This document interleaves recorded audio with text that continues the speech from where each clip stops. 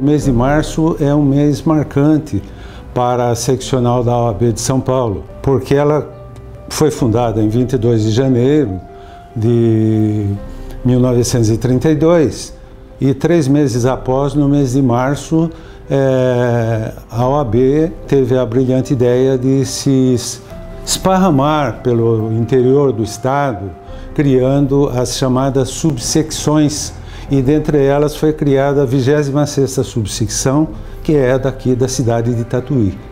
E a OAB, ela vem é, por Tatuí é, da seguinte forma, porque na época foi feita um, uma, uma conversação entre a seccional para que formasse as subseções através das vias férreas foram escolhidas cidades que tivessem assim um maior desenvolvimento, se levando em consideração principalmente os meios de transporte, cidades, enfim, que se manifestavam como prósperas para um futuro melhor.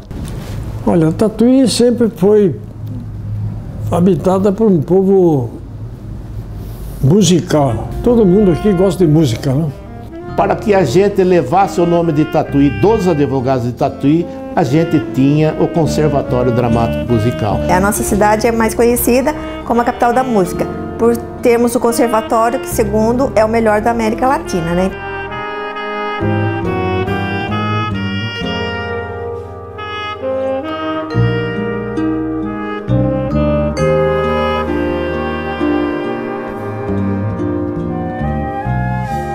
A chamada Casa do Advogado, ela sempre foi um sonho da classe. Conseguimos uma sala lá na, na, no Fórum Tatuí, no antigo fórum, e compramos uma máquina de escrever para poder o advogado ter um lugar onde se concentrar. Não é? Nós fomos articulando trabalhos para que a gente fizesse a Casa do Advogado.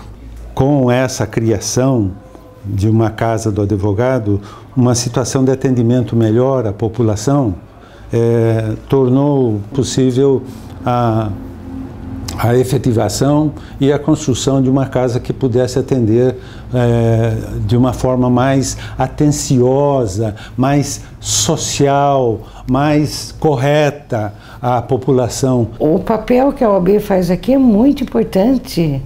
A, a senhora veja bem, é, são acho que 20, 30 pessoas até mais diariamente que são atendidas pela OAB. Se não houver esse convênio da OAB né, com a defensoria, os menos assistidos estariam praticamente ter que se deslocar da cidade de Tatuí para Sorocaba ou Itapetininga, onde tem a defensoria pública. Então esse nossa, essa nossa né, convênio ajuda muito a, a nossa população. É uma coisa assim que eu acho que a pessoa se sente acolhida tanto na parte de defesa, mas como pessoa, né? Uma pessoa que vem procurar o seu direito, além do direito, ela também precisa ser acolhida, né? Como pessoa. Porque a casa do advogado nada mais é do que a casa do cidadão e da cidadã. Então, o cidadão e a cidadã é, qualquer que seja a sua classe social, precisa sentir-se dentro da casa do advogado como se estivesse dentro da sua própria casa. Essa foi a luta, essa, esse foi o um empenho das diretorias passadas nesse, nesse trabalho tão maravilhoso que é o atendimento da população carente.